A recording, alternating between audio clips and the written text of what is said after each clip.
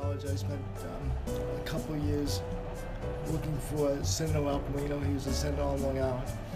And it just, the people who did the stuff that I most enjoyed doing, or seemed to do the stuff that I would most enjoy doing in the legislature, they were the they were the counsels. They they were the people who were moving the legislation, who were writing the bills, who were really debating the ideas.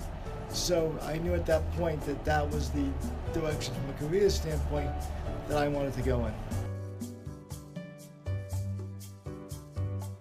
Credit unions um, were always a group of people who came across as walking the walk and talking the talk and really out to help people.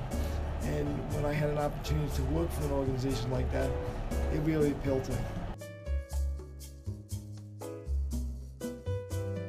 So the best thing about working for this association is that you truly are um, engaging and, and, participating in furthering a mission that you can be proud of and that you don't have to, uh, and that you know is helping people.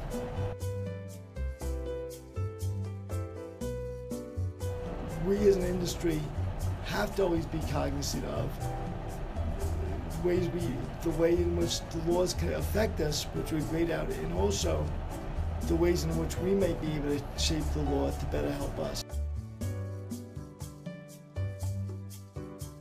When I'm not um, thinking about credit union issues, I'll be reading a book, probably watching a Yankee game while I'm reading the book, and hanging out with my kids at the same time. So that, that would be the way you would typically see me on a Saturday or Sunday.